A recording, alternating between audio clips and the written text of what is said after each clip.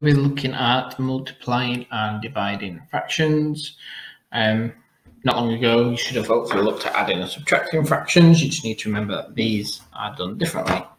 So when you are multiplying fractions, as it says in this top box here, nice and simple. You multiply the top and you multiply the bottom. So multiply the top to get 10, multiply the bottom, 5 times 7, to get 35. This next one, again, multiply the top. So in numerator, multiply denominator, get 63 again. It can be simplified, you can have work simplifying it, but if it can't be, you can just leave it like that. If you get one with a whole number in, so 6 times 2 6, with a whole number we can write as a fraction by writing a 1 underneath it.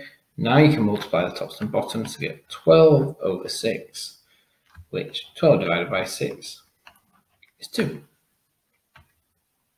Like this one here, again, turn that into a fraction, so it's 5 over 1 times the top times the bottom to get 15 over 7, and then simplify that. How many 7s go into 15 will be 2, with 1 seventh left over. If you have got the ones with the mixed numbers, change them to top heavy like we did with the fractions. 1 times 6 is 6 plus your 2 is 8. So I've got 8 over 6 times by 4 eighths to give me times the tops and bottoms now 32 over 48. Hopefully that should be simple enough. Have a go at these questions. Again, pause the video here. And now mark your answers.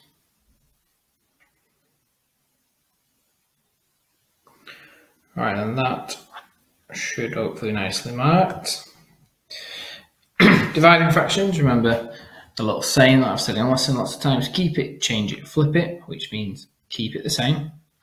So keep it the same, change it to a times, flip it upside down and times the tops and bottoms to get 7 over 4. Again, simplify if it's top heavy, would be 1 and 3 quarters.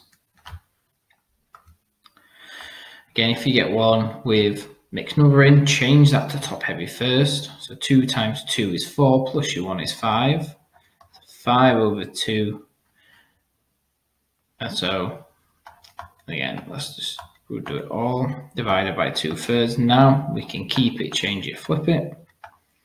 So keep it the same, change it to a times, and flip it upside down. That is a three there.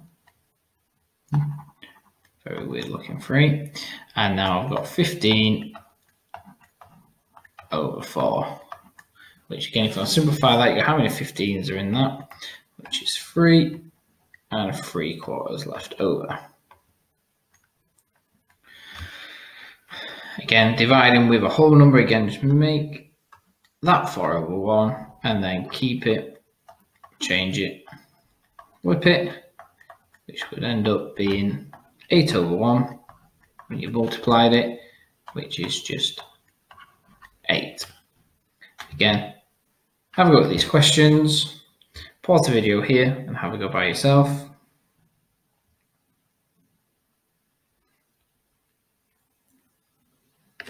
And mark your answers.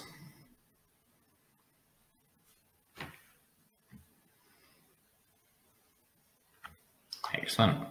If you do want some extra questions, there is some extra questions there that you can have a go at. If not, don't worry. If you've done the first two sets, that's excellent. Well done.